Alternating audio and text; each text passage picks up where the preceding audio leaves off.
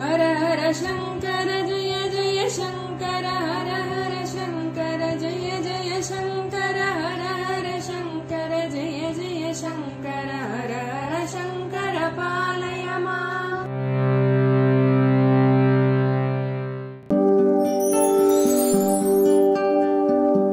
சுவாமி spiritual services வழங்கும் online ஆன்மீக வகுப்புகள்.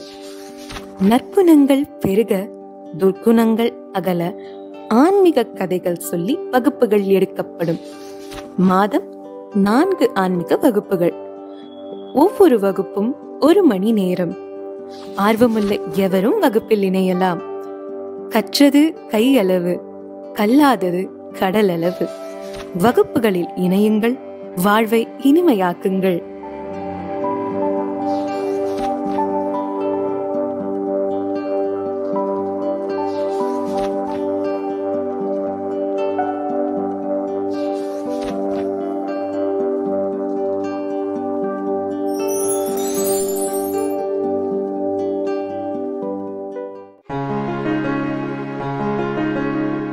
திருமணம் புனிதமானது. தாம்பத்தியம் தெய்வீகமானது. புனிதமும் தெய்வீகமும் உங்கள் குடும்பத்தில் சந்தோஷத்தை ஏற்படுத்த எல்லாம் வல்ல இறைவனை பிரார்த்திக்கிறோம். திருமணம் அமைய வேண்டி காத்திருக்கும் ஆண் பெண் ஜாதக தகவல்களை இன்றே இப்போதே பதிவு செய்யுங்கள். W W W Mahashankara matrimony dot com இது ஒரு ஆன்லைன் திருமண பதிவு மையம். கூடுதல் விவரங்களுக்கு தொடர்பு கொள்ளவும். நன்றி.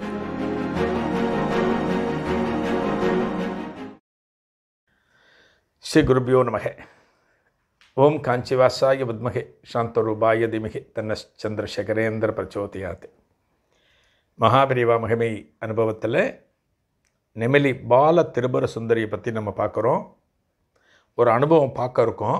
அதுக்கு முன்னாடி இந்த கோவில் எப்படி வந்ததுங்கிறத பற்றி நம்ம பார்த்துட்டுருக்கோம் சுப்பிரமணியன் அப்படிங்கிறவர் இந்த நெமிலி பாலா பாலா பீடத்தினுடைய முன்னாடி அவர் தான் அவர் அவர்கிட்ட ஆரம்பிக்கிறது இந்த பீடம்.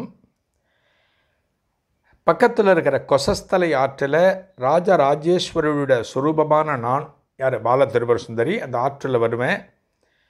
எடுத்து வச்சுக்கோன்னு ஒரு குறிப்பு கனவில் சொல்லிட்டா மூணு நாள் போய் பார்த்தார் யார்? சுப்பிரமணியம் அந்த கொசஸ்தல ஆற்றில் பார்க்குறார்.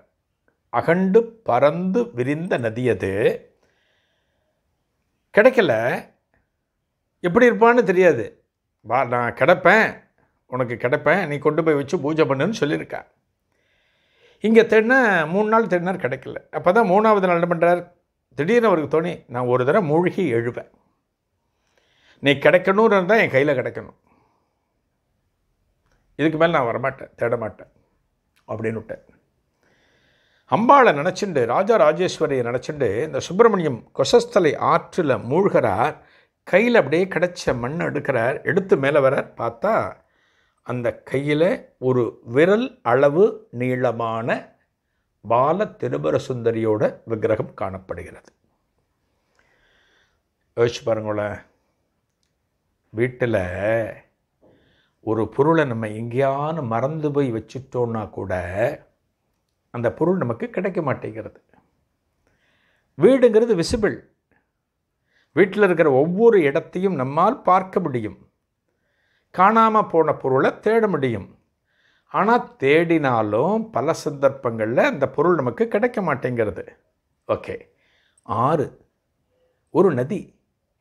இந்த நதியில் நான் இருப்பேன் நான் உனக்கு கிடப்பேன்னு அம்பாள் சொன்னாலுமே நதியில் மூழ்கின உடனே இவரோட கையில் லட்டு போல அந்த பால திருபுர சுந்தரி கிடைக்கிறா அப்படின்னா அது என்ன சாதாரணமாக எப்பேற்பட்ட இறையருள் இந்த குடும்பத்திற்கு வாய்த்திருக்கிறது? எத்துணை காலமாக அந்த அம்பாள் ஆகப்பட்டவள் பால திரிபுர சுந்தரி ஆகப்பட்டவள் அந்த கொசஸ்தலையில் காணப்படுகிறாள். எங்கிருந்து வந்தாள் எந்த குடும்பத்திலே சேர வேண்டுமோ அந்த குடும்பத்திலே அவள் சேர்ந்து விட்டாள். அந்த விக்கிரகத்தை எடுத்துன்னு வரார். என்ன விக்கிரகம்னா விரலளவு? பால திருவரு சுந்தரி. அந்த விக்கிரகத்தை எடுத்துன்னு வரார். ஊர் முழுக்க விஷயம் தெரிகிறது. அனைவரும் சிறப்பான வரவேற்பை கொடுக்கிறார்கள். அது நவராத்திரி காலம். இன்றைக்கும் நீங்கள் ஒரு நவராத்திரி டயத்தில் நிமலிக்கு போனேன்னா கோலாகலமாக இருக்கும். அபிஷேகம் என்ன அலங்காரம் என்ன ஹோமம் என்ன கச்சேரி என்ன அன்னதானம் என்ன எல்லாமே பிரமாதமாக நடக்கும். அப்போ வந்த டயம் நவராத்திரி டயம். அதனால் இந்த அம்பாளை வச்சு நவராத்திரியில் ஒன்பது நாட்களும் விசேஷமான வழிபாடுகள் நடக்கின்றன. ஊரில் இருக்கிறவ அத்தனை பேரும் திரண்டு வந்து இந்த உற்சவங்களை தரிசனம் பண்ணுறா இப்படி ஆரம்பித்தது தான் நெமிலி பாலா. இப்படி தான் ஆரம்பித்தது இன்றைக்கி அந்த குடும்பத்தில் அந்த பரம்பரையில் வந்திருக்கிற நெமிலி பாலா எழில்மணி அவர் தான் இங்கே பீடாதிபதி. ஸ்ரீ பாலா நெமிலி பீடம் இந்த பீடம் பேர். அவர் தான் இப்போ இந்த குடும்பத்தில் இப்போ இருந்து எல்லாம் பொறுப்பாக எல்லாத்தையும் பார்த்துட்டு இருக்கார். பெரிய கவிஞர் பாடலாசிரியர் அம்பாள் மேலே நிறைய பாடல்களை இயற்றக்கூடியவர்.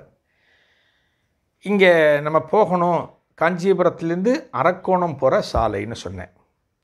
காஞ்சிபுரத்துலேருந்து இருபத்தி மூன்று கிலோமீட்டர். காஞ்சி அரக்கோணத்துக்கு பக்கத்தில். இது வந்து கோவில் கிடையாது. நல்லா புரிஞ்சுக்கணும். இது வந்து ஒரு வீடு. ஒரு கோவில் இல்லை. ஒரு கோவில் அப்படின்னா நம்ம நினச்சப்ப போகலாம். நம்ம மனசில் தோணணும். இன்றைக்கி கபாலீஸ்வரர்கள் போகலாமா? அப்படின்னு நமக்கு தோணி எடுத்துனா நம்ம கிளம்புவோம். இன்றைக்கி மதுரை மீனாட்சியை பார்க்கலாமா? தோணி எடுத்தால் கிளம்பிடுவோம் இன்றைக்கி காஞ்சிபுரம் போகலாமா? காமாட்சியை பார்க்கலாமா? மனசில் தோணணும் நினப்பு வரணும். ஆனால் நெமிலி பாலாபீடம் இருக்கு இல்லையா? இது கோவில் கிடையாது. வீடு. தம்பாள் என்ன தெரியுமா சொல்லுவாளாம்? தம்பாள் பால திருபுர சுந்தரி ஒரு கோவிலுக்குன்னா அந்த போகணுங்கிற சிந்தனை இருந்தாலே எல்லாம் போயிடுவா. ஆனால் என்ன தரிசனம் பண்ண வர்றதுக்கு? யார்? பால திருபுர சுந்தரியை தரிசனம் பண்ண வர்றதுக்கு அந்த நினப்பு மட்டும் போராது என்னுடைய அழைப்பும் வேண்டும் அப்படிம்பாளாம். அவள் கூப்பிடணும். நெமிலி பால திருபுர சுந்தரி உங்களை கூப்பிடணும். இன்னைக்கு வாப்பா நீ வா. நீ என்னை தரிசனம் பண்ணு அப்படின்னு சொல்லணும். இப்போ ஒரு வீட்டுக்கு நம்ம பொருள்னு வச்சுக்கோங்களேன். சிம்பிளாக ஒரு உதாரணம் பார்ப்போம். ஒரு வீட்டுக்கு நீங்கள் பொருள் உங்கள் ஃப்ரெண்டாத்துக்கோ சொந்தக்காராத்துக்கோ சொல்கிறேன் இந்த வீட்டுக்கு போகணுன்னா மேக்ஸிமம் அவர் நம்மளை கூப்பிட்ருக்கணும் நீங்கள் வாங்கலாம் ரொம்ப நாள் ஆச்சு உங்களை பார்த்து. உங்களுக்கு ஒரு பொருள் வாங்கி வச்சுருக்க அந்த பொருளை கொடுக்கணும். ஏதோ ஒரு காரணத்துக்காக ஒருத்தர் நம்மளை கூப்பிடுவார். நம்ம போவோம். அப்படி இல்லைன்னா அதிகபட்சம் என்ன பண்ணுவோம்? நான் ஃபோன் நான் உங்கள் அத்துக்கு வரலான்னு இருக்கேன். இதுக்காக அப்படின்னு சொல்லிட்டு போவோம். ஒரு வீடுன்னா நம்ம அப்படி தான் டீல் பண்ணுவோம். இந்த நெமிலி பாலாபீடத்துக்கு நம்ம போகணும் அப்படின்னா நாம் நினச்சி ஆசைப்பட்டால் மட்டும் போகிறாதான் அந்த பாலா நம்மளை கூப்பிடணும் இதுவரைக்கும் இந்த நெமிலி பால திருபுர சுந்தரியை நீங்கள்லாம் தரிசனம் பண்ணினீள் அப்படின்னா அந்த அம்பாளுடைய வாலை என்று சொல்லப்படக்கூடிய அந்த ஒன்பது வயது சிறுமியின் அழைப்பு இருந்த காரணத்தினால்தான் நீங்கள் அங்கே போயிருக்கள் நீங்கள் எத்தனை பெருமிதம் அந்த இடத்த தரிசனம் பண்ணின வழக்கு யார் யாரெல்லாம் போகலையோ இன்னும் அந்த அம்பாள் கூப்பிடலை. இந்த இளம் குமரி நம்மளை இன்னும் கூப்பிடலை. அந்த இடத்துக்கு வர சொல்லி சொல்லலை. அப்படி தான் நம்ம நினச்சிக்கணும். ஒரு கோவில்னா ஒரு சிஸ்டமேட்டிக்காக இருக்கும். கார்த்தால ஆறு மணிக்கு திறப்பா பன்னெண்டு மணிக்கு மூடுவா சாயங்காலம் நாலு மணிக்கு திறப்பா ஒம்பது மணிக்கு மூடுவா. இந்த கால பூஜைலாம் சொல்லுவா. இது வீடு. ஒம்போதுலேருந்து ஒரு ரெண்டு மணி வரைக்கும் திறந்துருக்கும். கார்த்தால் ஒம்போதுலேருந்து ரெண்டு மணி வரைக்கும் நம்ம போய் தரிசனம் பண்ணலாம். ஏன்னா இந்த இருக்கிற பா பாலா எழில்மணி சொன்னேன் இல்லையா இப்போ இருக்கிற பீடாதிபதி. அவர் எங்கேயான வெளியில் கோவில்களுக்கு ஏதான ஆன்மீக நிகழ்ச்சிகளுக்கு அப்பப்போ பயணப்படக்கூடியவர். அப்படி போயாச்சுன்னா இங்கே தரிசனம் பண்ண முடியாது. போயிட்டு திரும்பி வரணும். கூடிய மட்டிலும் இதான நம்பர் கிடச்சி யார்கிட்டயான தகவல் சொல்லிட்டு போகிறது நல்லது. ஒம்போதுலேருந்து ரெண்டு மணி அப்படின்னு சொல்லுவா இந்த இடத்தினுடைய நமக்கு திறந்திருக்கிற நேரம். இங்கே பார்த்தோம் அப்படின்னா நவராத்திரி ஐப்பசி மாதத்தில் பூரம் அதாவது அம்பாளுடைய அவதார தினம். அன்றைக்கி ரொம்ப விசேஷமாக இருக்கும். ஆடி மாதம் தை மாதம் வரக்கூடிய வெள்ளிக்கிழமைகள் ரொம்ப விசேஷமாக இருக்கும். அதை தவிர பார்த்தோம் அப்படின்னா இந்த அம்பாளுக்கு உகந்த தினங்கள் என்னென்ன வருதோ ஆடி போகிறோம் எல்லாமே ரொம்ப கிராண்டாக இருக்கும் இங்கே. இங்கே பார்த்தாலும் எங்கே பார்த்தாலும் அந்த பாலாவினுடைய ஒரு சொரூபம். ஒரு குழந்தை அம்பாளாக இருந்தால் எப்படி இருக்கும்? அந்த முகம். இப்போ ஒரு காமாட்சி படம் பார்க்குறோம் மீனாட்சி படம் பார்க்குறோம் அந்த முகத்தில் ஒரு முதிர்வுத்தன்மை இருக்கும். ஆனால் இங்கே இந்த அம்பாளுக்கு பார்த்தோம் அப்படின்னா அந்த முகம் ரொம்ப ஒரு குமரியாக ஒரு சிறுமியாக இருக்கும் அந்த முகம். ரொம்ப விசேஷமானது. பாலா திரிபுர சுந்தரி நெமிலி பீடம். இங்கே போகணுன்னா அம்பாளோட அழைப்பு இருக்கணும். அந்த அழைப்பு நமக்கும் கிடைக்கணும்னு பிரார்த்தனை பண்ணிக்கணும் நாளை நிகழ்ச்சியில் நெமிலி பாலா பீடம் தொடர்பான மகாபிரிவ நிகழ்வை தரிசிக்கலாம். நன்றி வணக்கம்.